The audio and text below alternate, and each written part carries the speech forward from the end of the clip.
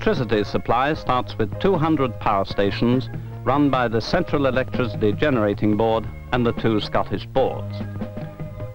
They are responsible for high voltage transmission through the lines of the national supergrid.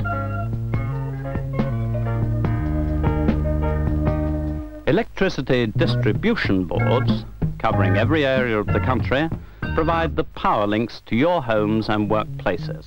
It's this second stage of distribution that we're going to look at. More than 20 million customers are served, and everyone must be provided with a continuous, reliable supply of electricity at the lowest possible price.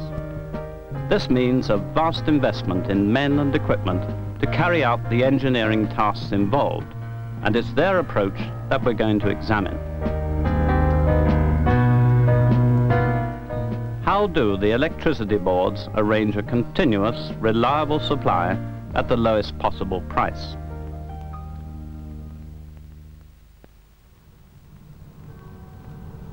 Now the boards take their power from bulk supply points on the national grid.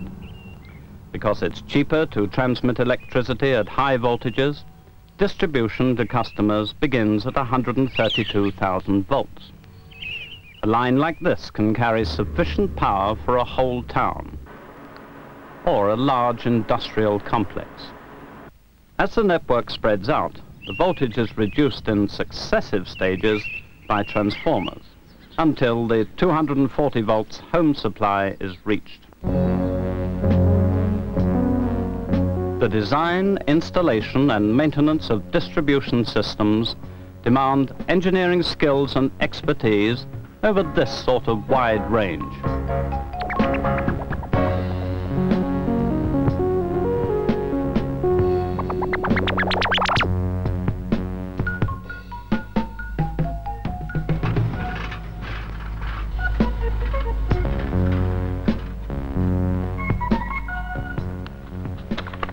Eric, I'm still not happy about this. I don't see why we shouldn't double main this in view of the high ADMD. Hmm. Well, in my experience, I don't think so. Why don't we just run it through the computer? Suppose the wire breaks before the bomb reaches the ground. The lightning flash is not going to be guided anymore. It might bring the whole balloon down in flames. Well, yes, but this is exactly why we've taken this into account by carrying the coil in the drop weight. By carrying the whole of the wire in the bomb to ground, there should never ever be a force strong enough to break the wire.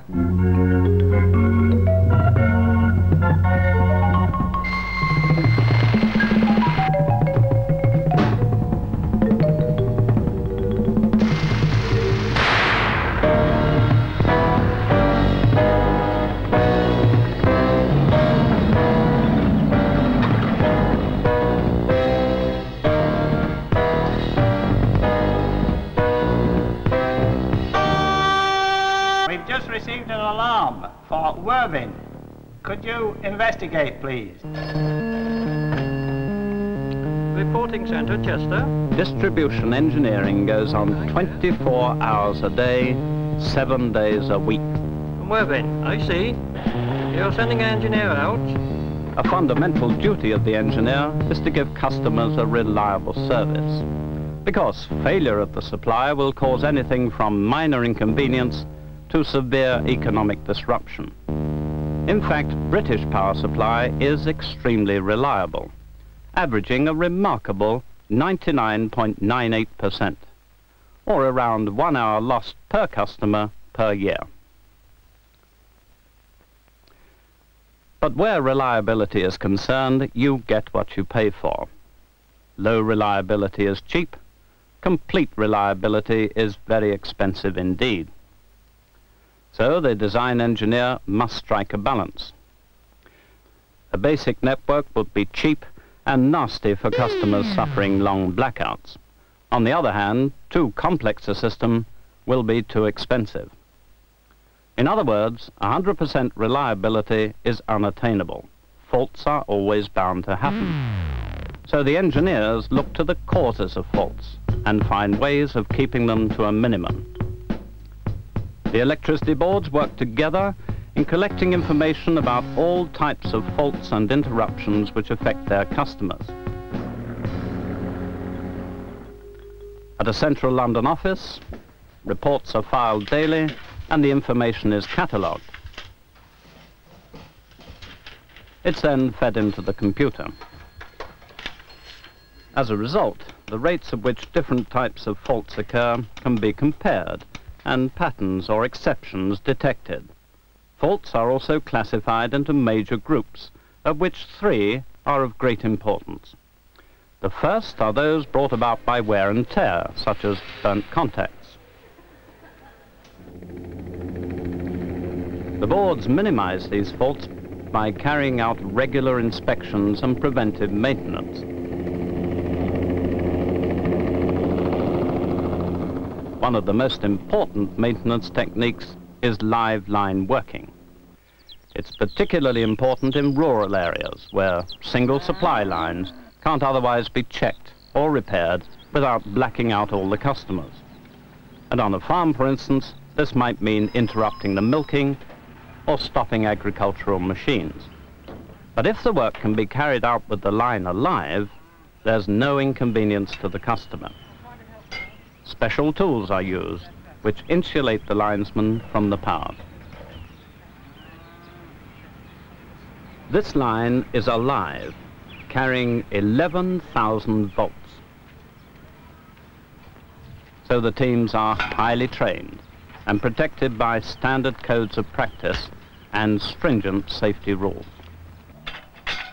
The result is a more efficient system, with maintenance work carried out immediately that would otherwise have had to wait and it's meant a halving of the number of times the power has to be cut off each year. A second major group of faults are those caused accidentally, such as pickaxes into cables. Here, laboratory research is being carried out to reveal design weaknesses in equipment. The third major group of faults are those brought about by the weather. Atmospheric pollution and most serious of all, information collected by the engineers shows that many more interruptions are caused by lightning than can be simply explained by the number of direct strikes to power lines. We've decided to carry out our initiation experiment in the region of Trawsfynydd. Now, I can refer you to the main map. The Important experiments into the effects of lightning strikes up to half a mile away from power lines are being carried out by supply industry research engineers. One experiment is an attempt to trigger lightning by firing a rocket from a captive balloon.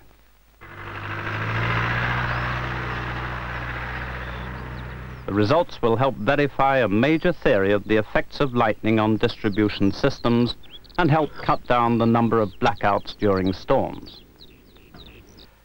The theory is that a lightning flash starts with a leader stroke, which forms a conducting path as it goes by ionizing the air. Upon reaching the ground, the main discharge takes place, as the return stroke current rises from the ground to the cloud.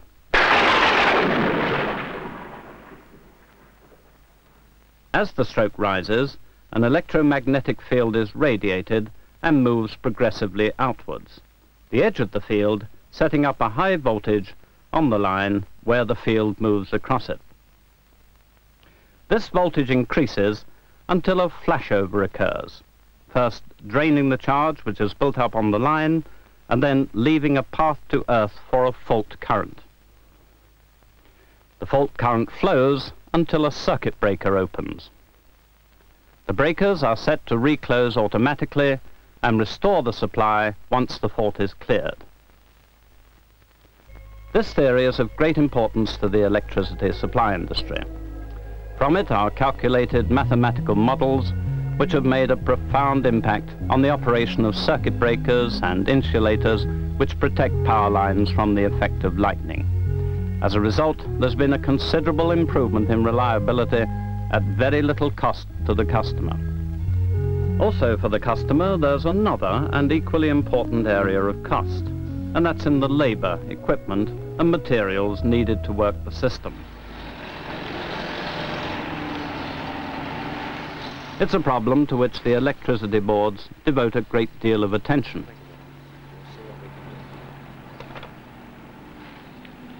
Here is a typical control center. The forward planning of resources, both men and machines, is handled in a way that's both logical and disciplined. No one is sent on a job unless it's properly organized. Mechanical aids are available when and where they're needed. And if, for example, you compare the costs of mechanical equipment against the cost of labor these days, you don't have to save much time to justify the use of mechanical equipment. And the resulting increase in productivity clearly helps to keep costs down. There are machines like the Magic Mole, which digs itself under roads or through embankments, leaving a cable path behind it. There's help for the more conventional approach to cable laying. Or there's the line pal, which puts pole handling or line stringing almost into the do-it-yourself category. The cost of components is another major item. But with advanced technology, savings are being made. For example, combined transformers and switchgear, which save both space and cabling. One of the most important developments in recent years has been the development of new types of low voltage cables. These are known as CNE, or combined neutral and earth cables, and they have aluminium conductors. The cables they replace had separate neutral and earth conductors, generally made of copper and lead, so they were much more expensive. A major advantage of CNE cables is in the jointing process, which is simpler, faster, and cheaper. For an industry that lays several thousand kilometers of cable a year, the actual length of cable runs assumes considerable importance. In new housing estates, for example, much care is taken to keep cables as short and as small as possible. The systems designer is faced with an estate layout. He knows where the power loads are greatest, possible sites for substations, and possible cable routes, which generally correspond to road and path layouts. His problem is to select the cheapest combination of substation and cable sites and sizes which will carry the load. The possibilities are almost limitless and even the most powerful computers would take several thousand years to examine them all and find the best solution. The electricity board designer has had to rely on past experience to find an acceptable solution. But he can't be certain that it's the best and cheapest. So supply industry research engineers have developed a computer program to help solve the problem. Oh, blimey. If we do change those around, we'll never get converging. Oh, I think you will if you increase the over-relaxation factor. The aim of the program is not to seek the perfect design, but rather to produce consistently good, low-cost designs in quick time. The program begins its work by looking at the currents in all the possible cable routes. These currents cause losses which are higher in some parts of the circuit. The program relates these losses to the cost of the cables needed to carry the load. So the next step is to delete the areas of highest loss and therefore highest cost. In this way, an efficient and low-cost network is evolved. The program then calculates the voltage drops at the end of the network and selects cables of the right sizes to bring the voltage drops within acceptable limits and make certain that no part of the circuit will overheat. Finally, the computer prints out a detailed summary of the design and the overall cost. Well, although this one looks all right on paper, I would settle for this scheme because since we have common trenching for our cables, we can well save on excavation costs. I suggest we have another trial run on this one Yes, and a good idea. compare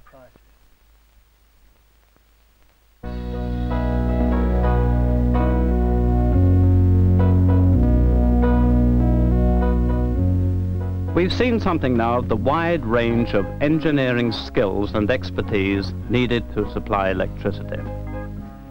It's a widespread industry, meeting the challenge of providing reliable service at a reasonable price. We've seen how the electricity boards cooperate in providing information and how this information is catalogued and used as a database for practical research work. We've seen something of the links between theory and practice, helping to modify and improve the distribution system at moderate cost. We've heard about methods of controlling the cost of labor and equipment, of components and of materials. And finally, we've examined computer technology in the service of better and more economic systems design. At the end of the circuit is the customer. And the aim of all the engineering is to give every customer a continuous, reliable supply of electricity at the lowest possible price.